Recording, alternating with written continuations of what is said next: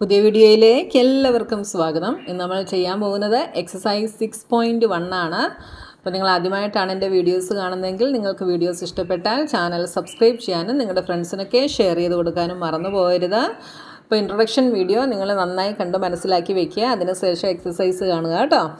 അപ്പോൾ നമ്മുടെ first question എന്താണെന്ന് നോക്കാം. In triangle P Q R D is the mid point of Q R P M is dash അപ്പോൾ നമുക്കിവിടെ ഒരു ട്രയാങ്കിൾ തന്നിട്ടുണ്ട്. ട്രയാങ്കിൾ പി ക്യു ആർ അതിൽ ക്യു ആറിന്റെ മിഡ് പോയിന്റ് ആണ് ഡി എന്ന് പറഞ്ഞിട്ടുണ്ട്. അങ്ങനെയാണെങ്കിൽ പി എമ്മും പി ഡിയും എന്താണ് എന്ന് നമ്മളിവിടെ പറയണം.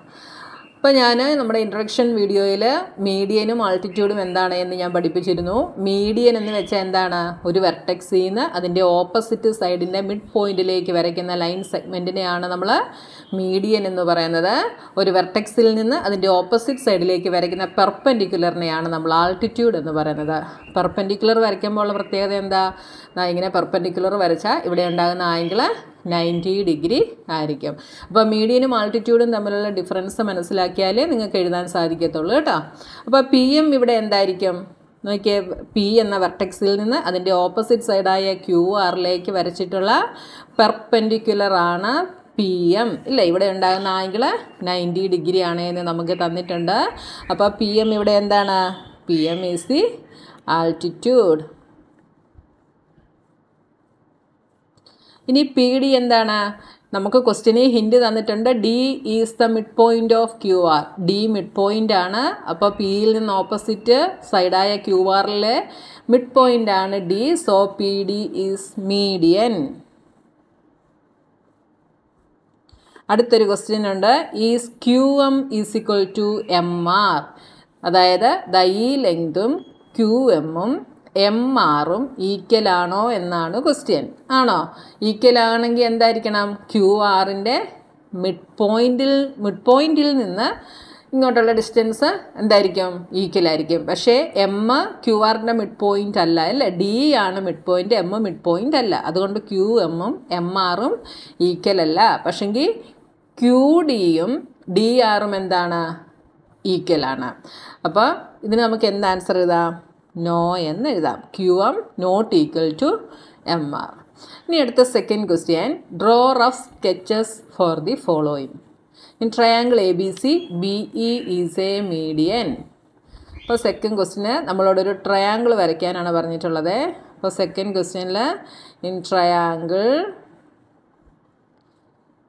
A B C B E is a median B E median ആയിട്ട് വരയ്ക്കണം. അപ്പോൾ ബിയിൽ നിന്ന് ആണ് നമ്മൾ സ്റ്റാർട്ട് ചെയ്യേണ്ടത്. ബി ഇ ആണ് മീഡിയൻ അല്ലേ? ബിയിൽ നിന്ന് അതിന്റെ ഓപ്പോസിറ്റ് സൈഡായ എ സിയിലേക്കാണ് വരയ്ക്കേണ്ടത്. മീഡിയൻ എന്ന് പറയുന്നത് എ സിയുടെ മിഡ് പോയിന്റ് ആയിരിക്കും. അപ്പോൾ ഈ is the mid point of A C ഇതാണ് ബി ഇ ഓക്കെ ഇനി അടുത്തത് in triangle P Q R P Q and P R are altitude of a triangle P ക്യുവും P ആറും ട്രയാങ്കിൾ പി ക്യു ആറിന്റെ altitude ആയിരിക്കണം. എന്ന് വെച്ചാൽ അതിന്റെ അർത്ഥം എന്താണ്?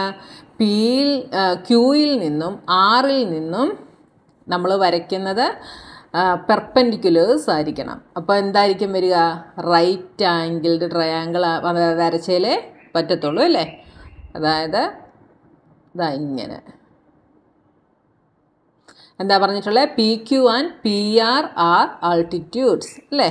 അപ്പോൾ ദിസ് ഈസ് പി ഇത് ക്യു ഇത് ആർ അപ്പോൾ പി ക്യൂവും പി ആറും എന്താണ്? ആൾട്ടിറ്റ്യൂഡ്സ് ആണ്. ക്യൂവിൽ നിന്ന് അതിന്റെ ഓപ്പോസിറ്റ് സൈഡായ പി ആറിലേക്ക് വരച്ച ആൾട്ടിറ്റ്യൂഡാണ് പി ക്യു അപ്പോൾ ഇവിടെ ഉണ്ടാകുന്ന ആംഗിൾ നയന്റി ഡിഗ്രിയാണ്. ഇനി ആറിൽ നിന്ന് അതിന്റെ ഓപ്പോസിറ്റ് സൈഡായ ക്യു പിയിലേക്ക് വരച്ച ആൾട്ടിറ്റ്യൂഡാണ് പി ആർ. അല്ലേ? അപ്പോൾ പി ക്യൂവും പി ആറും ആൾട്ടിറ്റ്യൂഡ്സ് ആണ്. ഇവിടെ ഉണ്ടാകുന്ന നയന്റി ഡിഗ്രിയാണ്. ഇങ്ങനെ രണ്ട് ആൾട്ടിറ്റ്യൂഡ്സ് വരണമെങ്കിൽ എന്ത് ട്രയാങ്കിൾ വരയ്ക്കണം? റൈറ്റ് ആംഗിൾഡ് ട്രയാങ്കിൾ വരച്ചെങ്കിൽ പറ്റത്തുള്ളൂ. ഇനി അടുത്ത മൂന്നാമത്തത്. In X Y Z Y is an altitude in the exterior of the triangle അപ്പോൾ ട്രയാങ്കിൾ എക്സ് വൈ ഇസഡിൽ വൈ എൽ എന്ന് പറയുന്നത് അപ്പോൾ എൽ ഇവിടെ നമ്മുടെ ട്രയാങ്കിളിൽ ഇല്ലാത്ത ഒരു പോയിന്റ് ആണല്ലേ അതെവിടെയാണ് ആൾട്ടിറ്റ്യൂഡ് വന്നിട്ടുള്ളത്?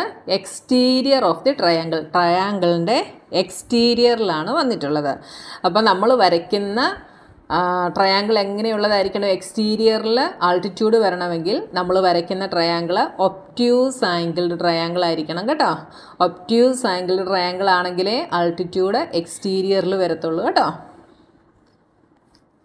ഇപ്പോൾ ഇങ്ങനെ വരച്ചാൽ ഇതിന്റെ ഓപ്പോസിറ്റ് സൈഡായ ദാ ഇവിടെ നിന്ന് എന്താണ് പറഞ്ഞിട്ടുള്ളത്? വൈ എൽ ആണ് അല്ലേ? അപ്പോൾ നമുക്ക് ഇതിനെങ്ങനെ പേര് കൊടുക്കാം? എക്സ് വൈ ഇസഡ് ഇങ്ങനെ പേര് കൊടുക്കാം. ഇങ്ങനെ പേര് കൊടുത്താൽ നമ്മുടെ ആൾട്ടിറ്റ്യൂഡ് എന്ന് പറയുന്നത് വൈയിൽ നിന്ന് ഓപ്പോസിറ്റ് സൈഡായ ഇസഡിലേക്ക് വരയ്ക്കുന്ന പെർപെൻഡിക്കുലർ ആയിരിക്കണം. അപ്പോൾ പെർപെൻഡിക്കുലർ ആണെങ്കിൽ നയന്റി ഡിഗ്രി ആയിരിക്കണം. ദാ ഇങ്ങനെ വരും. Y L. കണ്ടല്ലോ? Y L is altitude.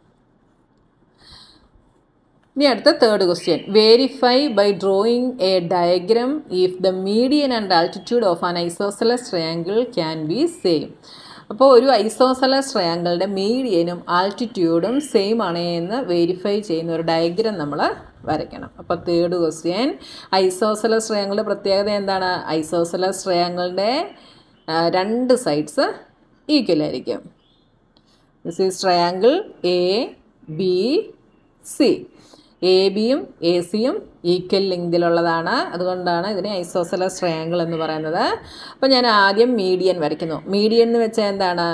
Opposite സൈഡിൽ നിന്ന് സോറി ഒരു വെർട്ടെക്സിൽ നിന്ന് അതിന്റെ ഓപ്പോസിറ്റ് സൈഡിൽ മിഡ് പോയിന്റിലേക്ക് വരയ്ക്കുന്ന ലൈൻ സെഗ്മെന്റ് അപ്പോൾ ബി സിയുടെ മിഡ് പോയിന്റ് ഇതാ ഇവിടെ വരും.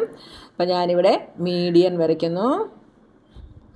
അപ്പോൾ ഇതിന് ഞാൻ എ ഡി എന്ന് പേര് കൊടുക്കുന്നു. A D is the median ഇനി അടുത്തത് ആൾട്ടിറ്റ്യൂഡ് വരയ്ക്കണം. ആൾട്ടിറ്റ്യൂഡ് വെർട്ടെക്സ് എയിൽ നിന്ന് അതിന്റെ ഓപ്പോസിറ്റ് സൈഡിലേക്ക് വരയ്ക്കുന്ന പെർപെൻഡിക്കുലർ ആണ് ആൾട്ടിറ്റ്യൂഡ് അപ്പോൾ അതും ഇവിടെ തന്നെ വരും. ഇതാ ഇവിടെ തന്നെ വരും. അതിന് ഞാൻ എൽ എന്ന് പേര് കൊടുക്കുന്നു. D D is A D is the median and A L is the altitude രണ്ടും എവിടെ തന്നെ വന്നു? സെയിം ആയിട്ട് തന്നെ വന്നു അല്ലേ? അപ്പോൾ ഒരു ഐസോസലസ് ട്രയാങ്കിളിനകത്ത് മീഡിയനും ആൾട്ടിറ്റ്യൂഡും എന്ത് തന്നെയായിരിക്കും? സെയിം തന്നെ ആയിരിക്കും. അപ്പോൾ നമ്മുടെ എക്സസൈസ് സിക്സ് പോയിന്റ് വൺ ഇത്രയേ ഉള്ളൂ. ഇനി നമുക്ക് അടുത്ത എക്സസൈസുമായി നെക്സ്റ്റ് വീഡിയോയിൽ കാണാം.